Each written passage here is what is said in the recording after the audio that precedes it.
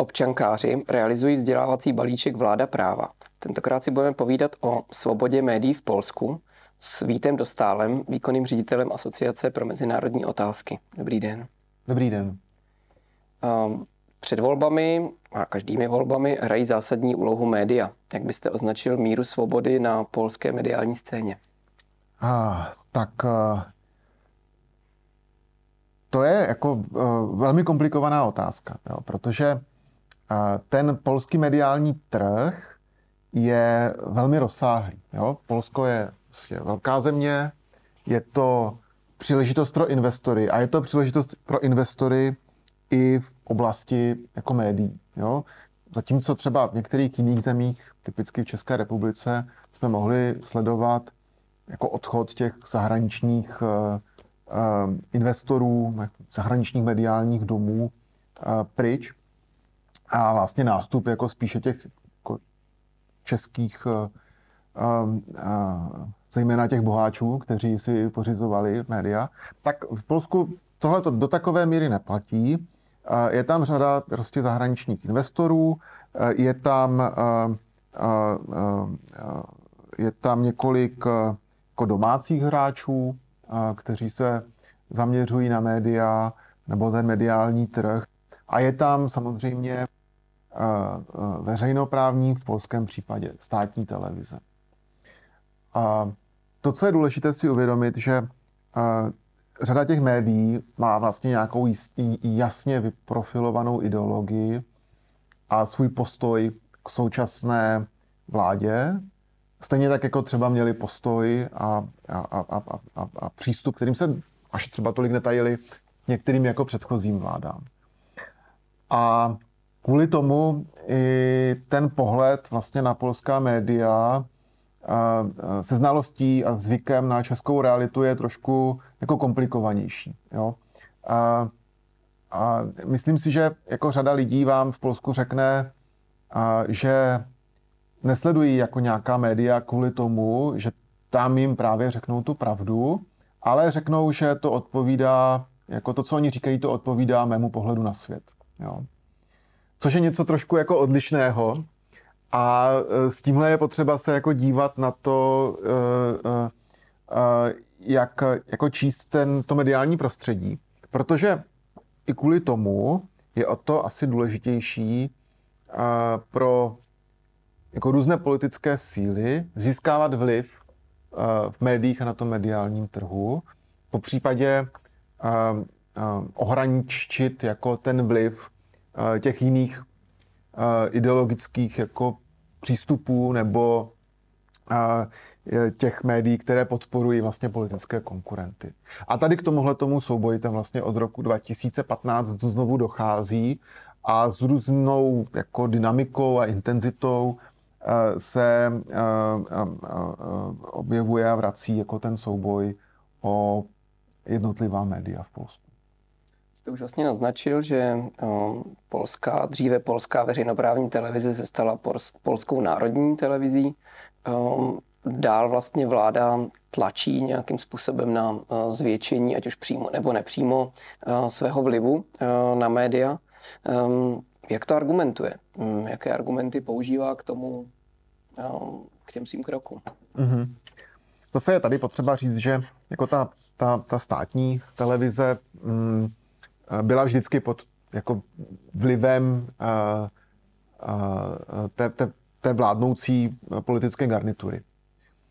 A nikdy to ale nebylo činěno jako tak, a, a, tak bez skrupulí, jako se tomu děje jako od roku 2015, kdy jako skutečně ta polská televize se stala jedním z orgánů jako moci uh, uh, té současné vlády. Jo? A dokonce jako jedním z orgánů, který se snaží, ten šéf té televize se snaží být jako jakýmsi hráčem a v rámci různých jako soubojů uvnitř té vlády, vlády uh, jednou trošku připísknout a pomoci jednomu hráči a po druhé zase někomu jako jinému a, a jednou trošku pomoct prezidentovi a po druhému zase trošku ublížit. Jo.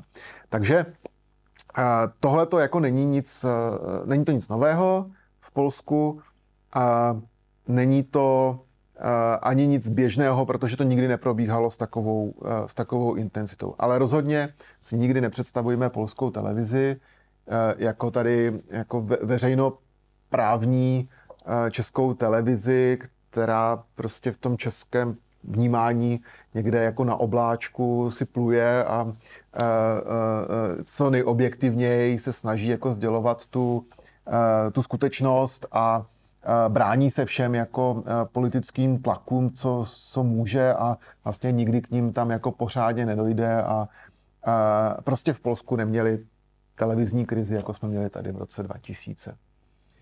A, která by jako tu televizi jako obrá, ubránila. No a Právo a spravedlnost, když eh, získalo moc v roce 2015, tak uh, začalo argumentovat, že většina těch médií v Polsku uh, vlastně je vůči té vládě nepřátelsky nastavená. A kvůli tomu si právě podřídili ty veřejnoprávní nebo ty státní média, kromě televize i rozhlas a, a, tiskovou agenturu, obdobu jako ČTK, tak si je vlastně kvůli tomu podřídili, aby vyrovnali zastoupení těch různých pohledů na svět jako na tom mediálním trhu. A, a vlastně to souvisí s tím, co jsem říkal předtím, jo? že řada prostě Poláků se jako podívá na tu televizi, koupí si ty noviny kvůli tomu, že prostě říkají tohle to jako odpovídá jako mému eh, vidění světa a proto já si budu číst tohleto spíše než abych si eh, četl prostě něco, co jako haní vládu a straní opozici. A, čili jako asi takto lze porozumět tomu a té argumentaci, se kterou právo a spravedlnost jako přišlo. V podstatě se tím moc netají, ale říkají, že tam není nic špatného.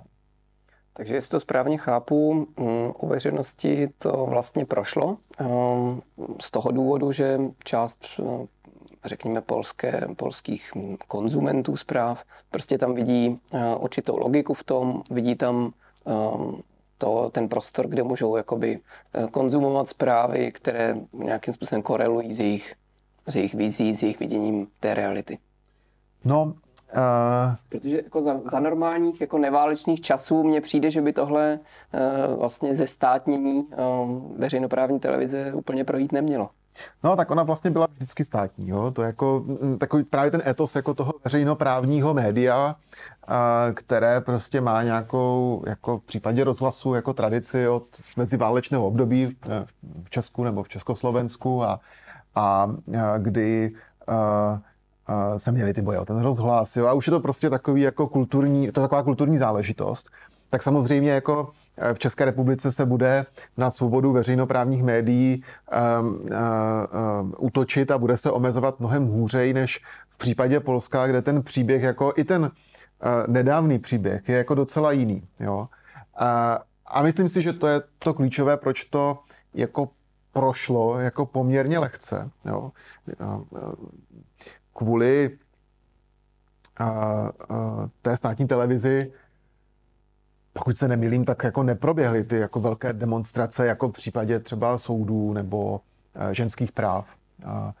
Ale zároveň jako si myslím, že to i odpovídá tomu, že tehdy se to jako taky objevilo jako jeden prostě z memů, nebo někde jsem to zahledl, prostě Poláci řekli, nebo bylo řečeno, no tak Kačínský má veřejnoprávní televizi a my umíme používat dálkové ovládání. Jo? A co si myslím, že by uh, uh, v uh, Poláky asi zvedlo ze židle, tak by byl moment, kdy by prostě neexistovaly jako alternativní nebo jaká jiná prostě média, než ta, která vlastně hlásají, hlásají podstatě vládní propagandu, jako se tomu děje jako v, eh, v případě té eh, polské televize TVP. No a není právě eh, to otázka, že ten výběh, řekněme, pro ta, řekněme, svobodná nezávislá média se trošku zmenšuje, protože Sejmem prošel mediální zákon, který právě mířil proti té kritické televizi, no k vládě kritické televizi. um, TVN, která je vlastně na Američany de facto. A ten zákon vlastně hovoří o tom, že nemůžete vlastnit významnou část toho mediálního domu eh, v Polsku, pokud jste mimo, hm, řekněme, evropský hospodářský prostor. Tam došlo k tomu teda, že prezident eh, Duda vetoval tento zákon, tak eh, zajímají mě z toho dvě části. Jednak ten záměr toho zákona a jednak vlastně proč prezident Duda vlastně vetoval tento zákon. Jo, tak ten záměr, jako ten byl poměrně jako jednoznačný. Jo? To, hm, a ačkoliv se uh, mohli zaštiťovat a obhajovat, že si přejí, aby uh, jako média nezískal třeba někdo jako z Ruska nebo z Blízkého východu a že to byl vlastně ten, uh, ten důvod, proč potřebovali takovýto zákon, tak ten cíl byl jednoznačný. Jo? Ten cíl byl prostě zakleknout na tu TVN, což je televize, která je úspěšná, není úplně nejúspěšnější, uh, uh, ani z těch soukromých. Je tam ještě jedna soukromá televize, která se ve svém zpravodajství snaží držet jako někde uprostřed, možná kdybych měl detailně počítat nějaké plus minus jako body za celou sezónu jako v hokeji, tak bych řekl, že občas trošku jako při, eh, eh, se postaví jako na stranu, eh, na stranu té vlády takticky, ale není to prostě propaganda. Jo? Není to jako propaganda jako v případě té, té státní televize.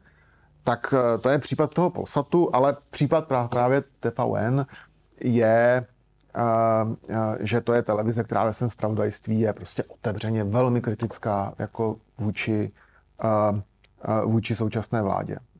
Když si pustíte jeden den uh, zprávy uh, v, uh, za ten stejný den jako v TVN a zprávy ve státní televizi, tak ne, že máte pocit, že žijete úplně, nebo že se tam mluví úplně o jiném Polsku, ale tam se mluví úplně, úplně jiné jako planetě. Jo? A, a, a, a právě jako ta, ta, ta snaha, kdyby, a, a, kdyby to chtěli udělat tak, že chtějí prostě zrušit TVN, tak to udělají přesně tak, jak ten zákon jako napsali. No a o tom byla jako samozřejmě velká diskuze. Přirozeně se to Američanům nelíbí. Ta televize e, je, nebo při nejmenším nějakou dobu byla, nevím, jestli to je aktuální číslo, ale nejvýznamnější americkou investicí v Polsku. A, a, je to velký symbol. I v dobách prostě Donalda Trumpa kdy, řekněme, asi Donald Trump si s, eh, s vládou pod vedením práva a spravedlnosti mohl eh, v souladu vyprávět o více věcech než eh, s Joe Bidenem, Joe Biden s tou, s tou vládou současnou polskou, tak i v dobách jako Donalda Trumpa, tak Amerika se velmi ostře stavěla proti jakémukoliv snaze o omezení, omezení této investice a e, velmi výrazně argumentovali pro jako mediální svobody e, v Polsku. No a, a, a, a myslím si, že Andřej Duda se rozhodl v podstatě vetovat ten zákon z toho důvodu, že nechtěl přijít o důležitého e, spojence, nebyl si jistý tím, co by přijetí takového zákona znamenalo pro polsko-americké vztahy. K tomu vetu došlo na přelomu roku 21-22 a v podstatě, když se podíváme na to, co se v mezinárodní politice a s bezpečností ve střední a východní Evropě děje nyní, tak to byl poměrně prozíravý krok. A Duda se vlastně v tom druhém svém volebním mandátu, on teďka do roku 2025 ještě bude nějakou dobu sloužit, a, tak on se viditelně v podstatě emancipuje. Jo. Vždycky ti prezidenti, co jsou na ty dvě období, tak v tom druhém momentu jsou jako méně kontrolovatelní, jo, což eh, vidíme jako u nás. Viděli jsme to u nás i s Václavem Klausem, že už to byla trošku jiná jako jízda. Teď to vidíme taky. A eh, v případě jako Andřeje Dudy, to, ta emancipace vlastně probíhá, eh, řekl bych, tak nějak jako minimálně ve prospěch jako těch, těch mediálních svobod. Jo. Ona se předtím taková jako legrace, jako takový, taková fotka, takový mem, jako kde se Kačínský jako směje, že uh, říká nějakému svému kolegovi, že dal jsem uh, Dudovi podržet svýho, svou kočku a on mi ji vrátil jako podepsanou, jo? že vlastně cokoliv jako Kačínský dal jako Dudovi, tak se mu vrátil jakýkoliv zákon podepsaný, tak to už dneska asi tolik jako neplatí. Myslím si, že to bude platit čím dál méně. A díky tomu, že ten polský uh, systém, uh, ta ústava je postavená tak, že v momentě veta prezidenta už je potřeba v Sejmu sehnat třípětinová většina, což vlastně ukazuje, že ten prezident má poměrně silnou pozici i při vytváření jako zákonů, tak tímhle tím bych řekl, že se skončily jako snahy o podřízení si právě tady téhle velké soukromé televize, která je americkou investicí. Vy jste naznačil, že vlastně polská veřejnost začne reagovat v momentu, kdy um, přestane vlastně mít možnost uh, sáhnout po nějakých, řekněme, nezávislých zprávách. Je otázka, jak to teda poznají, aby to nebyla ta, hmm. takové to postupné zvyšování teploty. A je teda v 21. století pro většinu Poláků problém si dohledat kvalitní vládou neovlivněné informace? No, eh, když se eh, podíváme zase na nějaký jako průzkum a co říkají jako čísla, jak si Poláci myslí, že uh, jako je tam pluralismus jako médií jo, v Polsku. Tak 60%, 65% říká, že ano, jenom 17 říká, že ne, zbytek neví. Jo, nebo nedokáže na to odpovědět, netroufne si říct. Tak a jako těch 65%, v podstatě skoro jako dvě třetiny, které řeknou, je to u nás jako v pořádku, tak to jako nejsou jenom voliči práva a spravedlnost. Jo? To není jenom prostě ti, kteří jako jsou asi spokojení s tím současným stavem. A, takže bych řekl, že jako tady uh, zůstává jako určitá uh, určitý prostor jako i pro jako další média, konec konců ten příběh jako TV. A jsou tady zase jako příběhy, které ukazují jako na trend, který jde jako opačným směrem. A, a v, v Polsku v, jako v posledních měsících, no, přibližně roce a půl nebo dvou letech, jako došlo k tomu, že a, a právě a, té vládě se podařilo velmi důmyslně jako vystnadit jednoho hráče eh, z toho novinového jako trhu, eh, kdy eh, síť jako regionálních novin, které jsou v Polsku docela silné, jo? jakože jsou jako jedny noviny, které se třeba jsou populární v oblasti Gdaňsku a tam toho jako trojměstí a jsou jako docela silné, prodávané, tak v podstatě síť tady těchto těch jako regionálních novin, která byla tuším vlastně na jako německým majitelem, tak ta se eh, tu, tu koupila eh, polská eh, společnost Orlen, která se jako primárně věnuje oblasti, oblasti energetiky, jo. A která vlastně i posiluje, vlastně slučuje se jako s další společností, také státní. A jako je to trošku jako nepřirozené, proč zrovna jako uh, Orlen potřebuje jako uh, mít uh, vliv na mediální trh a zase jako argument, že bude skvělé prostě prodávat ty noviny na čerpacích stanicích, jako si myslím, jako není úplně dostačující. Ačkoliv taky jako byl, byl použit, jo. Uh, ale uh, uh, jako ukazuje to, že pořád jako ten stát má jako možnosti, jak uh, tu, nebo ta vláda má možnosti, jakým způsobem ten mediální eh, trh jako pokřivit. A samozřejmě jednou jako s možností, kterou evidentně prostě využívá od, od počátku, tak je prostě míra inzerce v těch uh, médiích, které uh, buď to jako nepatří přímo pod, nebo nejsou nějakým způsobem jako propojené s tím státem, anebo uh, že jsou i soukromá média, která vlastně straní té vládě, jo? nebo s tou vládou hrajou nějakou hru, jo? třeba takové to asi docela dobře známe, jako Radio Maria a ultrakonzervativní vlastně rozhlasová stanice, na kterou je ještě napojená stále vlastně významnější televize, tak to je vlastně samostatný jako subjekt na té mediálně politické scéně, který nějakým způsobem komunikuje s vládou nebo některými politiky ve vládě a tam někomu pomůže, protože ví, že prostě část toho Eh, těch, těch ultrakonzervativních jako posluchačů a sledujících eh, se bude třeba rozhodovat podle toho, co jim tam zrovna jako řeknou. Jo? Takže on ten, on ten trh jako je velmi propojený s tou politikou a je vlastně velmi jako, eh, je tak nepřehledný, až je pluralitní. Dá se nějakým způsobem, když se ještě vrátíme zpátky k té polské národní televizi, řekněme, no, dá se nějakým způsobem jako konkretizovat, jak vypadá její zpravodajství. Mm-hmm. No, jestli nějaký konkrétní příklad z toho, jak eh, to můžeme z toho poznat. No to, eh, to je skutečně jako show, eh, ve které, ze které jako bychom si tady asi, kdyby se to tady pustilo a ještě by se to třeba převedlo do nějaké jako české reality, to možná ani nejde, jo, tak by jsme si řekli, že to patří jako do silvestrovského vysílání. Jo. Tohle to, to, co, čeho tam jsou jako schopni. No tak a, a, myslím si, že se dá hrát jako takové docela jako bingo, co všechno se tam jako objeví, jo, v té, zejména tak třeba v dnešních dnech, jo, co tak jako může běžet v době, kdy a, tady vrcholí jako ruská agrese na Ukrajinu, tak eh, tam bude něco ošklivého o Angele Merklové a o Německu, protože eh, samozřejmě Němci jsou jako vini tím, že že Evropa nedostatečně podle názoru prostě té televize nebo jejich editorů nebo nevím koho jako pomáhá Ukrajině.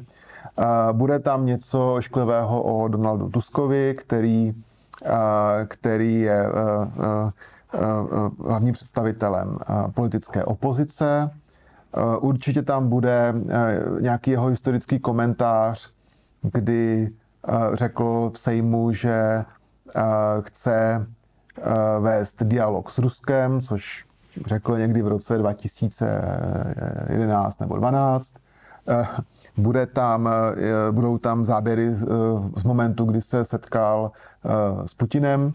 A takže tam bude vyobrazen jako v podstatě zrádce, jako zrádce národa, jo? jako člověk, který se snažil pod, podřídit vlastně Polsko-Rusku. Jo?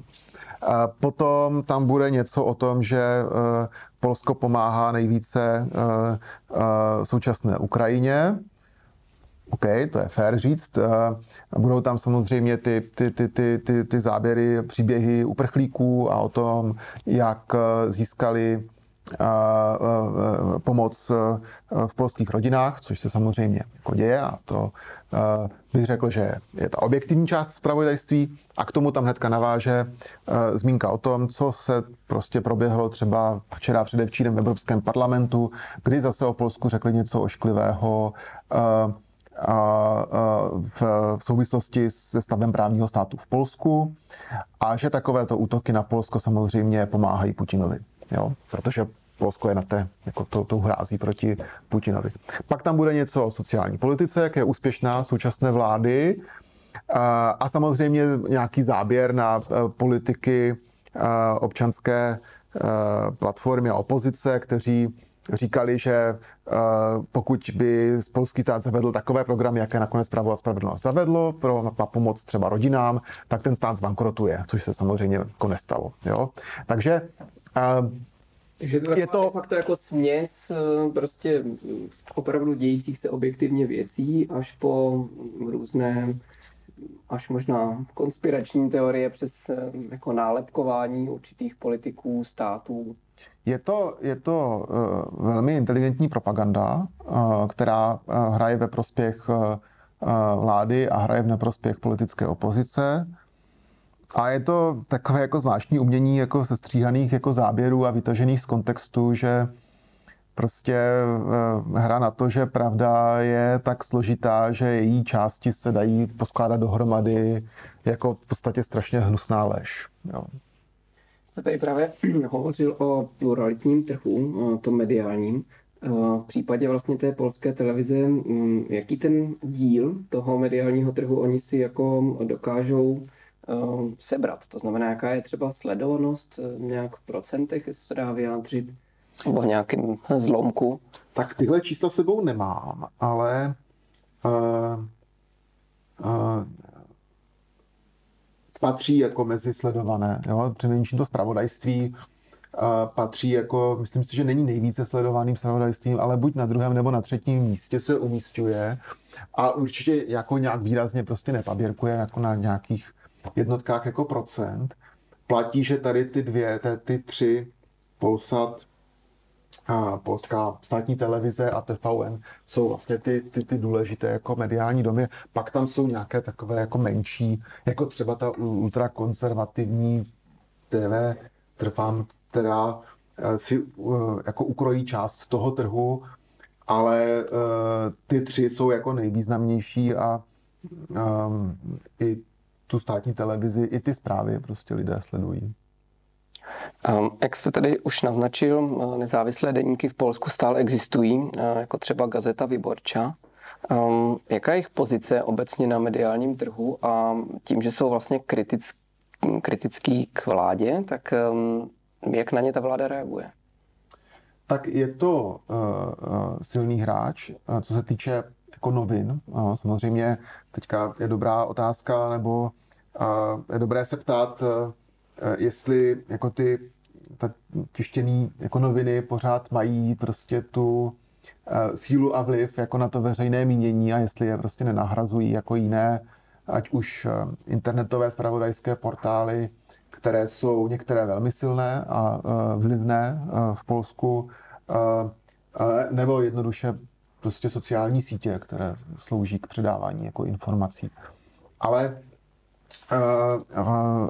jako nadále v působí neprošli jako žádným, žádným kolapsem. Jsou samozřejmě jasně jako postavené proti té současné vládě. To je prostě příklad, příklad, příklad gazety Vyborčej a i tak to s ní je prostě zacházeno. Jo. Jako, mm, pokud, eh, pokud tam jako dojde k nějakému jako spravodajství a je potřeba nebo k už ne spravodajství, ale prostě eh, komentá, prostor jako pro komentáře, tak eh, se tam spíše objeví jako lidé, kteří jsou jako kritičtí k, nebo velmi kritičtí k té současné vládě. Zase v jiných médiích je tomu jinak. I v těch soukromých. Jo? Jsou soukromá média, která jdou velmi na ruku současné vládě a jejich představitele, mimo jiné, jako můžete velmi často skoro denně jo, zahlédnout i v, v, v tom televizním zpravodajství státní televize, kde mají napsané, že jsou jako publicisté a že tam vlastně říkají jako nějak, tam mluvící hlava nějaký ten jako názor tvářící se objektivně, ale v podstatě to tak jako není. Jo, ale to taky patří vlastně do toho, do jednoho políčka z toho binga jako e, e, při sledování e, večerních zpráv v, ve státní televizi. No. Dalo by se říct, že vlastně ten vliv je už omezen tím, že vlastně vláda nebo stát a polostátní firmy vlastně omezují inzerci v těchto jakoby nezávislých denících. Je to ten nástroj, který mi zatím chtějí, řekněme, přistřihnout křídla těm nezávislým médiím? Je to, je to nástroj, ale přiznám se, že jsem neviděl uh, nějakou podrobnější studii uh, uh, ohledně toho, jak uh, to reálně vypadá, jestli uh, je ten uh, jako dopad na ty média skutečně jako významný. Mm, a na druhou stranu jako jsou případy i z období jako před rokem 2015, kdy jako jeden novinář, který jako bych neřekl, že patří prostě do nějakého zarytého tábora podporovatelů práva a spravedlnost, velmi jako přesně popsal jako moment, kdy mu jeho v podstatě majitelé, šéfové jako novin doporučili něco nepublikovat, protože to může rozházet jako vztahy s vládou a, a že by mohli přijít jako o příjmy jako z inzerce a tak dále. Jo, určité takové prostě ohraničování svého vlastního konání tam bylo i dříve jako přítomné a ten vliv na tu inzerci stát nějaký jako má. Ale jako přesně rozsoudit ty dopady a čísla a, to v tuhle chvíli nedokážu. Jasně, to je složitější se do toho ponořit. Um, mě by zajímalo, jakým způsobem um, vlastně tu pozici má v tomhle systému ten novinář, protože obecně v, ve státech, kteří, které prožívají ten odklon od toho demokratického orbitu k, směrem k tomu autoritářství, ať už to můžeme vidět v Maďarsku nebo potom třeba v Turecku, tak eh, logickým důsledkem toho je, že ten novinář, jeho pozice se stává vlastně nebezpečnější. No, mhm. je, jsou nějaké trendy vysledovatelné i v Polsku, případně na nějakém konkrétním příkladě by se dalo poukázat? No, a tady v tomhle případě jako Polsko a, a, a zejména ti, kteří a, tvrdí, že přece v polských médiích se nic tak špatného neděje, tak jako velmi inteligentně a docela trefně poukazují na to, že v Polsku se přece novináři nevraží. A, poukazují na to a říkají, tak podívejte se, u nás sice se stěžujete na to, že máme nějaký jako vychýlený mediální svobody a že je u nás s těmi mediálními svobodami všechno špatně, ale k, k teroristickým útokům na novináře dochází ve Francii nebo na Maltě, e, zabíjejí se na Slovensku a v Polsku tyhle případy nemáme. Jo jako v podstatě eh, situace jako nějakého a, eh, a, eh, cíleného fyzického ohrožení novinářů, tak k něčemu takovému, jako třeba v případě Turecka, tak k tomu jako v Polsku, v Polsku nedochází. A pořád platí, že mm, jako v Polsku je je, je v tomhle jako asi hodně pod dohledem. Jo. Je tam hodně těch zahraničních investorů, kteří vlastní ty mediální, eh, mediální domy v, jo, třeba v oblasti, v oblasti bulváru. Jo. To je, to je um, taky sféra, ve které ti zahraniční investoři jsou jako velmi, uh, velmi silní. A mimo jiné, jako aspoň takto jako verbálně je na ně útočeno, jo, že konec konců Andřej Duda v té poslední kampani před minulými prezidentskými volbami řekl, že by přece jako Němec, Němci vlastněná média neměli, neměla rozhodovat o tom, jako, nebo něco v tom smyslu, že tady příliš velký vliv jako těch Němci vlastněných médií na to, kdo se může stát jako příštím polským prezidentem. Takže a, a co se týče jako takové míry jako ohrožení života, bych neřekl, že na tom Polsko jako špatně, jakkoliv prostě platí, že jako novináři pro zejména politiky často jsou jako bráni jako v podstatě nějaká jako škodná, která jim otrahuje život, ale tak to je přece jejich práce. Um, Kdybychom měli udělat nějaký výhled, je na obzoru nějaká změna v oblasti médií, jinými slovy, co by muselo vlastně nastat, aby tento trend v Polsku se začal e, otáčet k větší nezávislosti, k menší, řekněme, kontrole vlády nad některými médii. Co, co by se muselo stát? Hmm. A, no, um, tak pravděpodobně by muselo dojít jako k nějaké politické uh, změně, uh, protože mm, ono, ta situace těch jako médií jako reflektuje tu polarizaci, která je viditelná i v polské společnosti a v polské politice. A, a samozřejmě uh, jako ten, ta konfrontace mezi těmi uh, takovými dvěma světy, která probíhá jako na různých úrovních, tak probíhá i mezi těmi jednotlivými médiami, médi, médiami a je tam jako těžko si dokážu představit situaci, ve které by ona jako zmizela, jo? protože například jako v té hodnotové sféře je to Polsko jako do určité míry rozdělené na ten tábor, který je jako výrazně konzervativnější než jiná část jako společnosti. A ono se to asi do těch jako médií bude ještě nějakou dobu propisovat.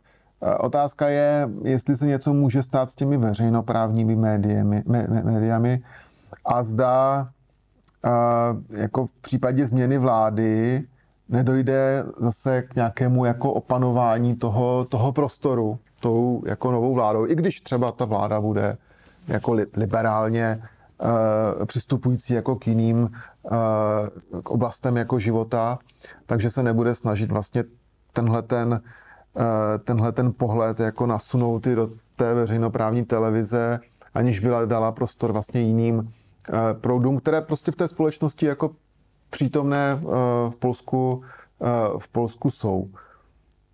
Uh, nevím. Um, řekl bych, že ta polská politická garnitura na to ještě, ani ta vládní, ani ta opoziční na to ještě není příliš zralá. Hm, dnes jsme si povídali s Vítem Dostálem, ředitelem Asociace pro mezinárodní otázky na téma vláda práva a svoboda médií v Polsku. Děkuji.